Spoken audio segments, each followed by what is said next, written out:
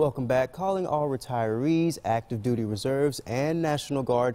Be sure to squeeze the Women's Veteran Symposium into your plans at the Bay Breeze Event Center over at Keesler Air Force Base. Now we have Melissa and Becky joining us to tell us more. Good morning, ladies. How are y'all? Good morning. We're great. Good, good. So tell us about this event.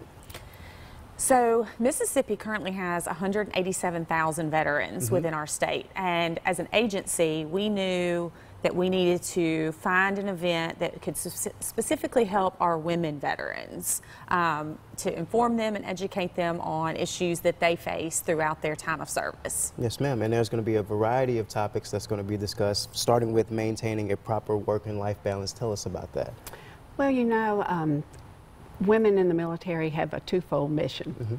protect their country, but also the families are still there.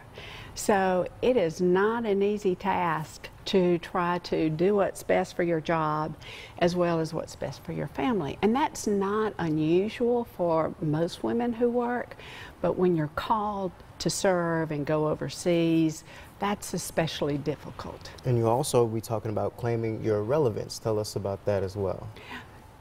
You may not be aware of this, Jalen, but not everyone appreciates women in the workforce. Mm -hmm. And it's often difficult to stand up, have your ideas recognized when, in one case, you're a minority, and, and some people's minds not considered significant. So it's how to elevate your ideas and to develop the confidence so that you feel comfortable mm -hmm. in elevating your ideas. And that's just a few of the topics that's, that's going to be discussed. Few. But there's also going to be some keynote speakers there as well. Can you tell me about that? Absolutely. So we are honored to have Mississippi's first female senator, Senator Cindy Hyde Smith, will be coming to speak. Uh, Mississippi's first female attorney general, Attorney General Lynn Fitch, will also be there.